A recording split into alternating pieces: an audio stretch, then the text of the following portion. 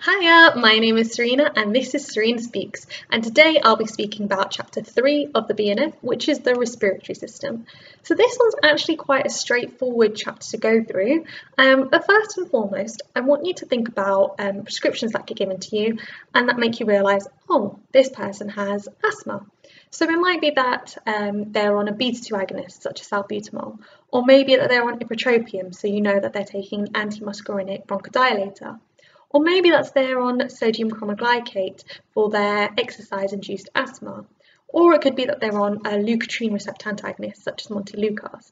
So depending on the stage of or the severity that a person's asthma, asthma is, will depend on which medication they're taking. So a person could get an acute asthma attack and that can range from being moderate to severe or life-threatening. And so let's focus on moderate and severe. And there's five key points that we have to remember, um, which will distinguish it between moderate or severe. So first and foremost, can they talk? If they're talk, talking like I am right now, that would indicate that it's moderate. Whereas if they're struggling to even finish off a sentence, that would indicate that it's most likely to be severe. Now let's look at their respiratory rate. So if their respiratory rate is below 25 breaths per minute, that indicates moderate. And if it's above 25 breaths per minute, it's severe. In terms of their pulse, if their pulse is below 110 beats per minute, then it's moderate. If it's above 110 beats per minute, then it's severe. So you can see already those three are really pretty straightforward to remember. We need to think about talking, we need to think, talk about the respiratory rate, we need to think about their pulse. Where is it? Is their respiratory rate below 25 or above 25? Is their pulse below 110 or above 110? In terms of their oxygen saturation, in both cases, it should be above or equal to 92%. If it's below 92%, then it will be life-threatening. And in terms of their peak flow, their peak flow, if it's above 50%, would be moderate, 33 to 50% would be severe, and below 33% would be life-threatening. Other symptoms of life-threatening would also be that the person has a slow heart rate, so bradycardia, hypertension. They may get some blueness even, which is known as cyanosis, or they could get a silent chest. So we can see, actually, that's really quite simple and easy to understand, and easy to differentiate between moderate, severe, and life-threatening. And just remember, with moderate to severe, can they talk? What's their respiratory rate? What's their pulse? What's their oxygen saturation? And their peak flow. And if you remember that, then that's those two covered. And in terms of life threatening, well, it'll be the extremes. Their oxygen saturation will be a lot lower, so it'll be below 92%. Same goes with their peak flow, it'll be below 33%, and they might get blueness in the face, slow heart rate. Just try and think of it logically, um, and that way that will help. But that's how you differentiate between the three in acute asthma. So that was acute asthma. Now we'll move on to chronic asthma. And the British Thoracic Society have um, released these summary management in asthma sheets, which are so much easier to understand. And personally, I found them easier to use than actually learning it from the BNF. I've included the um, link in the description box, so have a look at that whilst I go through this next bit. I've created my own step one to step five sheets, um, so we'll use them in conjunction. It's page nine of the British Thoracic Society on the link that I've included. So go to page nine and First and foremost, if a person has chronic asthma, step one would be that they would be put on a short-acting beta-2 agonist, such as salbutamol. Now, if that wasn't helping, then they might need to be step two, into an inhaled corticosteroid. So now, what would determine a person going from step one to step two? Well, there's three important factors. Firstly, are they using their inhaler more than three times a week? Secondly, are they getting any nighttime symptoms? And thirdly, have they had an exacerbation in the last two years? If there's a yes to any of those answers, then they will go from step one to step two. Now, a person is still not getting relief, then step three is that a long-acting beta-2 agonist, such as formoterol, would need to be added. But if a person is still not getting full benefits or the therapy is still quite inadequate, then the inhaled corticosteroid dose could be increased. However, If the long-acting beta-2 agonist isn't helping at all, then they need to stop it. That needs to be stopped. The inhaled corticosteroid dose needs to be increased, and they could be trialled on a leukotriene receptor antagonist, such as montelukast, or slow-release theophylline. So that's step three. Now, if say that still doesn't help the patient, then they'll need to go on to step four. And then step four, again, the inhaled corticosteroid dose would need to be increased. You may need to be added onto a leukotriene receptor antagonist, or they might need to be added onto a slow release theophylline. So it's basically the same things as step three, um, as in this part of step three. So that's quite easy to remember then for step four. Um, and at step five, so none of that is still helping, they may, might need to be on a daily low dose of oral corticosteroid and a high dose of inhaled corticosteroid. And if that's still of no benefit, then they may need to be referred to a specialist. And for under five-year-olds, it's very simple. Step one, give them a SABA. Step two, give them an inhaled corticosteroid. If that doesn't work, then they might need to be given the leukotriene receptor antagonist. Step three, if that still hasn't worked, then they would be given the leukotriene receptor antagonist. Step four, they would need to be referred. So like I said, have a look at those um, pages in the British Thoracic Society document that I've, I've, put the link to. Pages 9 to 11 in particular, um, they're great diagrams to use. I really, really recommend them. So that was asthma. Now let's move on to COPD. And with especially the time of year that it is now, and you get a prescription and it says tiotropium, for example, and you think, oh yes, this person has COPD, check, have they had their flu vaccine? Um, and I think this is really important to mention, especially for this time of year um, when it is flu season. And it's the influenza vaccine and the pneumococcal vaccine. Check that they've had both of them. And also check if the person is smoking, is a smoker, because a person that has COPD is either usually an ex-smoker or they're currently still smoking.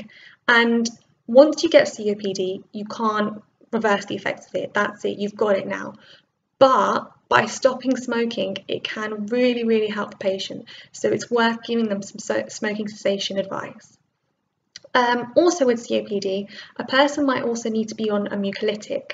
So this will help with their chronic productive cough and will decrease any sputum viscosity. Um, however, if there's no benefit after four weeks, then they need to come off the mucolytic. And an example is carbamazepine. Now, um, in the BNF, they go through on page 215 of the BNF 70. They have the diagram for the use of inhaled therapies in COPD. And I think it's a really nice diagram to go through. It's a really easy diagram to go through as well. So if we start off with, first and foremost, the treatment of COPD for a person will first and foremost depend on their FEV1. So your FEV1 is your forced expiratory volume and it's the amount that you can exhale in one second. So this will either be above 50% or it will be below 50%. So keeping that in mind, first and foremost with a person's COPD, we'll start them off on a SABA, so a short-acting B2 agonist such as salbutamol, or SAMA, a short-acting muscarinic antagonist, so, agonist, sorry, such as ipratropium. Now, let's focus on if their FEV1 is above 50%. If it's above 50%, then we will give them a LABA, a long-acting beta-2 agonist or we can give them a LAMA, a long-acting muscarinic agonist. But if they were on a LAMA, then we need to discontinue the SAMA because the two shouldn't really be given together. Now, if the person is on the LABA and they're still getting persistent exacerbations or breathlessness, then an inhaled corticosteroid can be added. And if the person is on the LAMA, and again, they're still getting persistent um, exacerbations of breathlessness, then they'll be need to put on all three, on the LABA, the LAMA, and the inhaled corticosteroid. And the same case goes in the case with the person that's on LABA and inhaled corticosteroid. If that's still not helping, then a LAMA also needs to be added, and they'll be given all three. So just to go through that again, SABA, SAMA, LABA, LAMA, but if they're on the LAMA, discontinued the SAMA. then on the LABA, an inhaled corticosteroid might be added. Or if the person is still getting persistent exacerbations of breathlessness, they'll need to, and they're on the LAMA, then you need to add the LABA in the inhaled corticosteroid. And if this person who's on the LABA and the inhaled corticosteroid and they're still not getting any benefit, then we add them a LAMA, and so they're taking all three, the LABA, the LAMA, and the inhaled corticosteroid. So that's above 50%. Now what if we're below 50%? So if their FEV1 is below 50%, same starting point, SABA or SAMA. Then if it's below FEV1 is below 50%, they could be put on a LABA plus an inhaled corticosteroid or on a LAMA. And again, if they're on the LAMA, discontinue the SAMA. Now, if that LABA and inhaled corticosteroid isn't helping, then a LAMA would be added, and they'd be on a LAMA, a LABA, and an inhaled corticosteroid. And it's exactly the same for the LAMA. If the LAMA is not helping, then they'll be given the LABA and the inhaled corticosteroid, so they're on three, all three, LABA, LAMA, and inhaled corticosteroid. It's actually quite simple once you go through it quite a few times. And like I said, I think the diagram of the BNF explains that and summarises that really nicely. So just keep going over and over again. And what I would say is, with extracts like these, take a picture, um, blow them up, make a poster out of it, um, and even the, the chronic asthma um, posters, page 9 to 11 in that other URL link um, that I've put, make posters of those and stick them around your room, your house, your wherever it is that you frequently go to. Just stick them around and just keep reciting it to yourself and it will come to you because it is actually fairly simple to know. It just takes a while to practice, practice, practice. So that's asthma versus COPD, and now I'm very briefly going to touch upon croup. So croup can be a bacterial or a viral infection, and it um, causes inflammation and narrowing of the airways.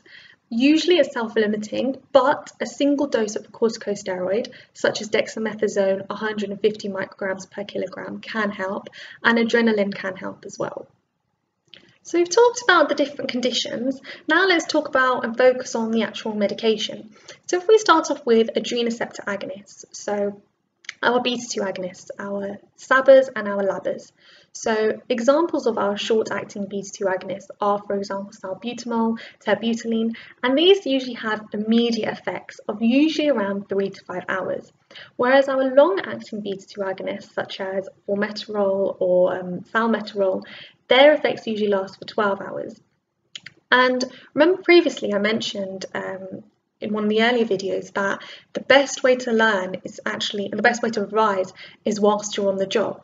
Well, a good way that you can do that is, say a prescription gets presented to you and it says um, Symbicort inhaler. You then need to think to yourself, okay, what's in Symbicort inhaler? Right, it's formoterol and it's budesonide. Okay, what is formoterol though? Formoterol is my long-acting beta-2 agonist. Right, what's budesonide? That is my um, inhaled corticosteroid. So then you know, okay, this person's on a LABA and they're on an ICS, an inhaled corticosteroid. So then you can think to yourself, okay, is it asthma or is it COPD that I have? And then you can think to yourself, okay, which stage, or if it was COPD, which stage of COPD is it that this patient is at then? If you then look further down um, their prescription and it says tiotropium, then you know that, okay, this patient is on a LAMA, a long-acting muscarinic antagonist. So they must have really persistent exacerbations of breathlessness um, for them to be on all three, on the um, inhaled corticosteroid, on the LABA and on the LAMA. So like I said, try and revise as much as you can at work um, and try to actively learn because that will really, really help you um, when later on when the exam comes and when you're practicing as a pharmacist. So the main side effects with associated with adrenoceptor agonists is hypokalemia. Now, in the exam question, they could ask you which of these causes hypokalemia. Salbutamol could be an option there, and they're very likely to include an option there that causes hyperkalemia, such as ACE inhibitors, just to catch you out. So try and make a list of which ones cause hypokalemia, which ones cause hyperkalemia, because it will help you later on anyway. So try and make a list of that. So yep, side effects, hypokalemia. Um, and you can also use space devices or even pressurized meter dose devices. Then we have anti antimuscarinic bronchodilators. So your ipratropium and your tiotropium. So ipratropium is used in short term for relief in COPD and um, chronic asthma, and its maximum effects are usually 30 to 60 minutes after use. And whereas with the tiotropium, so with the long acting, um, it's used, the only indication actually for tiotropium, licensed indication, is for COPD. Now they're antimuscarinic bronchodilators, side effects are going to be those associated with antimuscarinic effects. So your dry mouth, um, nausea, headache, and particularly with ipratropium and nebulized salbutamol, a big side effect associated with them is actually glaucoma. So theophylline. Theophylline is one of the high-risk drugs, so it means that we need to know a bit more about it. So it mostly comes as a modified release preparation, so there are delays in toxicity. Some of the symptoms of toxicity are vomiting, restlessness, convulsions, and if a person does experience convulsions, then usually lorazepam or diazepam is what's given to them. Um, they can be given repeated doses of activated charcoal if they have an overdose of theophylline, and that's usually if more than an hour has elapsed. And it's really important that with theophylline, it's prescribed by brand because bioavailability does differ between different brands. Now, theophylline is a funny one in that its plasma theophylline concentration can increase or decrease depending on different factors. So, for example, plasma theophylline concentration decreases in a person who is a cigarette smoker. So that means that, that if, they depend, if they decide that, okay, I'm going to stop smoking from now on, their theophylline concentration is then going to start increasing, which means that their overall dose needs to be reduced. The same is, can be seen with um, alcohol consumption and in drugs that induce metabolism. Whereas in cases where plasma theophylline is increased, it's increased in um, viral infections, in hepatic impairment, in the elderly, heart failure, and drugs that inhibit metabolism. Usually the safe range for theophylline is between 10 to 20 milligrams per litre, um, and that's usually what's needed for satisfactory bronchodilation, and it has a narrow therapeutic index. And aminophylline, that's a hard one, aminophylline, aminophylline, aminophylline is twice more soluble than theophylline. Um, and yeah, so those are the main points for theophylline. Um, but like I said, it is a high risk medicine. So with the high risk medicines, you need to know those extra little itty bitty details about them. Moving on to drug delivery systems. So there's many different drug delivery systems. We have pressurized metered-dose inhalers, um, breath actuated spacers, dry powder inhalers, um, and you need to know which ones are your metered-dose inhalers and which ones are your dry powder inhalers. So your metered-dose inhalers, for example, are your Evohalers, so Seretide, Qvar, Examples of your dry powder inhalers are your Handihalers um, like tiotropium or your turbohalers such as Symbicort. Switching from a pressurized metered-dose inhaler to a dry powder inhaler, a patient can get a cough and um, patients aren't advised to switch between space devices. They should be replaced every 6 to 12 months and they should be washed once a month and left to drip dry. Don't clean them with a towel or a cloth or anything because then that can generate static. So it just needs to be washed once a month and left to drip dry. And that's a really key counselling point to give to your patients. Now, in terms of nebulizers, nebulizers turn a solution of a drug and they make it into an aerosol for inhalation. And the benefit of them is that they can give a higher doses of a drug um, to the airways than compared to standard inhalers. So if we go on to corticosteroids, um, corticosteroids, so if you use them for three to four weeks and a patient seems to gain benefit from them, that indicates that they have asthma. If they've been taking a corticosteroids and they're not getting that much improvement, then that indicates a COPD. So in terms of asthma, it will reduce the airways inflammation and it's used usually in the prophylaxis of asthma. With COPD, it may reduce exacerbations when given in combination with a LABA, which we saw earlier. And with beclometasone in particular, a patient, uh, the brand name needs to be written on the prescription, whether it's Qvar or Clenil modulite, because the two shouldn't be interchanged. And the reason for that is because Qvar contains finer particles. Um, and so if a person, if it just says generically beclometasone, you need to ask the patient which one it is they usually get. Is it the Qvar? Is it the Clenil Modulite? Or double check with their GP. But it is so important that they stay and stick to the same brand, like with the theophylline. Other examples of corticosteroids that are used in COPD are mometasone, budesonide, fluticasone. Um, so there's quite a few. And um, if a person's on corticosteroids, especially long term, they need to carry around a steroid card with them. So that's another key counselling point to check with your patients that are on um, long term corticosteroids. And the main side effect of them is um, oral candidiasis, so oral thrush. So again, key counselling point is to tell your patients to rinse their mouth out with water after inhalation of inhaled corticosteroid to reduce the risk of getting oral candidiasis. Now, very briefly, um, cromoglicate and related therapies, so sodium cromoglicate, nedocromil, they're usually used three to four times a day and they need to be withdrawn gradually, usually over a week. Um, usually side effects that are associated to them are irritation, cough, um, even bronchospasms. You also have your leukotriene receptor antagonists, which we mentioned earlier. So um, Montelukast if you're above six months old, or Zafirlukast if you're more equal to or more than 12 years old. Um, and you also have your phosphodiesterase type 4 inhibitors, for example, Roflu, Roflumilast. Roflu, I really don't know why they make these names so complicated, seriously, but roflumilast, um, and that's associated with anti-inflammatory properties, and it's usually used in severe COPD with associated um, associated with chronic bronchitis. Just another note I want to make about inhalers. They do like to ask really obscure questions about them.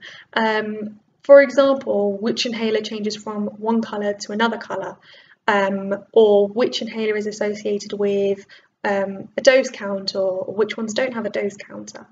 So try and know as much specific little itty bitty details about them as you can. Um, so for example, something like the Eklira Genuair, that changes from green to red. Um, the generic name is Aclidinium.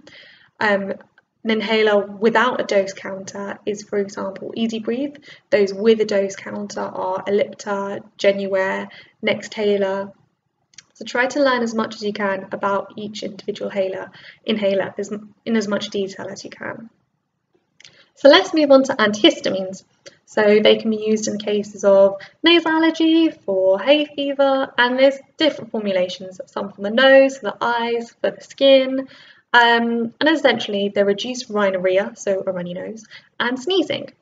And they can be used for urticarial rashes, for pruritus, stings, insect bites.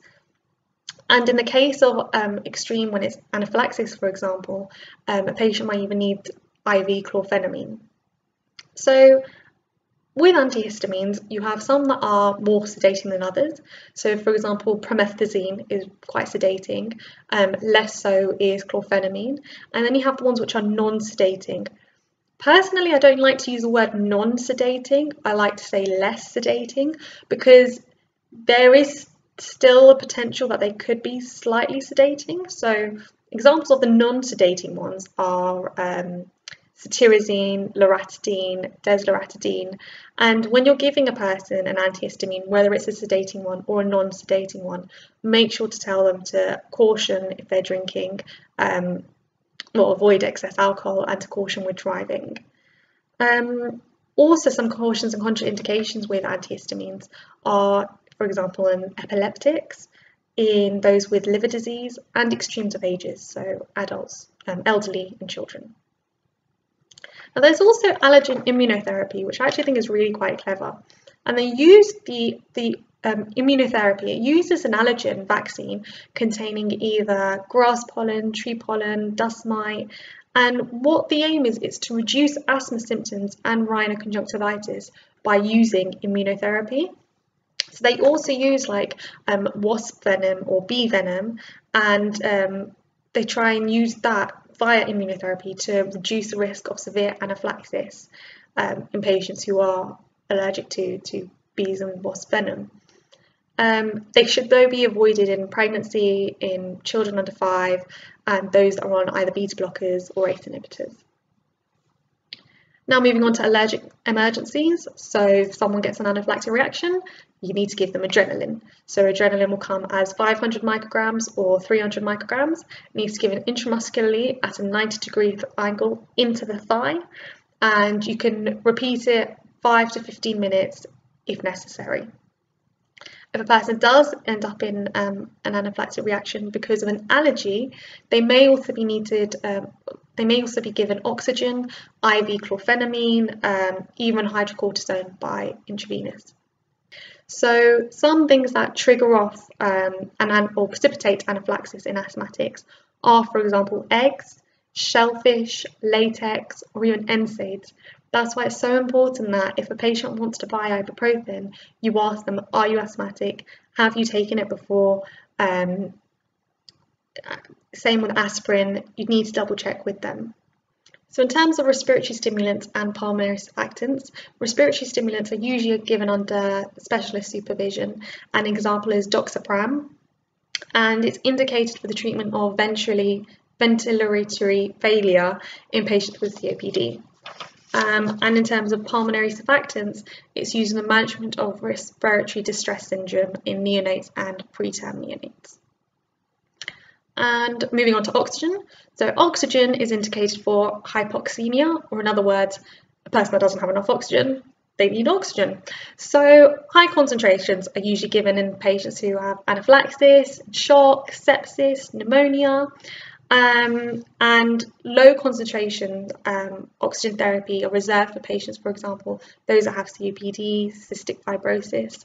And if a person is a smoker but they need um, oxygen therapy, they need to have smoking cessation because they can't be smoking when oxygen is around because it's flammable. Um, that wouldn't be very good. So provide smoking cessation to those patients.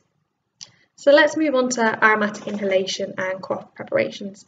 So a patient might come to you and after fully assessing them, you might realise that they're on too many medications. So actually for their bunged up nose, um, something in tablet form wouldn't be best for them. What you can give them is menthol and eucalyptus inhalation because this will encourage deliberate inspiration of warm, moist air, which will essentially relieve nasal obstruction, so it'll help them breathe a lot easier in terms of cough suppressants. So a cough can be one of three things. It can be a symptom, a side effect, or an association. So if it's a symptom, it could be, for example, a symptom of asthma. If it's a side effect, it could be a side effect of, say, an ACE inhibitor, or it could be associated with something, for example, if they're a smoker. Now, um, an example of a um, cough suppressant is codeine. Um, Personally, I don't like to give out codeine to patients because there is that risk of dependency. They're also sedate, it's quite sedating. You could give Pholcodine as um, an alternative because that is less sedating. Um, but it, I mean, you have to assess the patient yourself. You need to see what's what would be the best thing for them. Um, another example of cough suppressant is dextromethorphan, um, and again in an exam in an exam they could give out a list of different um, excipients and they might say which of these is best for a dry cough which of these would be best for a person who has a lot of mucus so in case of a cough suppressant codeine um, Pholcodine, dextromethorphan if a person need, just needs like a simple demulcent, so they have like a dry cough, then something like um, something containing glycerol or syrup, so simple Linctus, that would be great. Um, if they have an expectorant cough, so they've got a lot of phlegm, a lot of mucus, then guaifenesin would be the best thing to give to them. And in palliative care, it's usually morphine that's given for um, a person for, for their cough. And cough suppressants um, in general aren't recommended for under six year olds. Um, it's usually 6 to 12 and then 12 to adult that they're recommended for. Under 6, try to avoid. I mean, you can get simple Linctus um, pediatric and you can get Tixilix, which is usually just with glycerol, and that's fine. I think for some of them it's even like one years old. Um, so that those ones are fine, but some of the other ones like the dextromethorphans, the guaifenesins, not recommended for under six year olds. And um, systemic nasal decongestants. So um, an over-the-counter one example is pseudoephedrine or brand name Sudafed. But with pseudoephedrine, we need to be thinking, oh, our MEP. So there's a lot of legalities that are associated with pseudoephedrine. So it is illegal to sell or supply more than or equal to 720 milligrams of pseudoephedrine or more than or equal to 180 milligrams of ephedrine um, without a prescription. And it's also illegal to sell um, pseudoephedrine and ephedrine together. So be aware of that. And pseudoephedrine can be cautioned in diabetics, those with hypertension, and it should be avoided in those taking mono monoamine um, oxidase inhibitors. Now, the nasal decongestants aren't as effective as the systemic decongestants, but they don't give rise to rebound congestion. So that's one of the benefits that the nasal ones have over the um, systemic um, decongestants. And finally, antifibrinolytics. So these are indicated for idiopathic pulmonary fibrosis. Um, an example is pirfenidone, um, and they exert antifibrinolytic and anti-inflammatory properties. So that's the respiratory system. Like I said, it's actually a really straightforward one. Um, what I will do is, with the little diagrams and pages that I've made, I will upload them onto the face my Facebook page, which is www.facebook.com slash Sureena Speaks. Um, so I'll upload them on there, hopefully that will then um, help you. And yeah, and hopefully you now have a better understanding of the respiratory system and realise that it's actually not too bad a one to go over. But I hope you like this video. Please give it a thumbs up, give it a like, share, subscribe, check out our Facebook page, and I will be posting videos every Thursday, um, so make sure to look out for that. And thank you for watching. Until next time, I'm Sureena, and this is Sureena Speaks. Thank you. Happy revisings.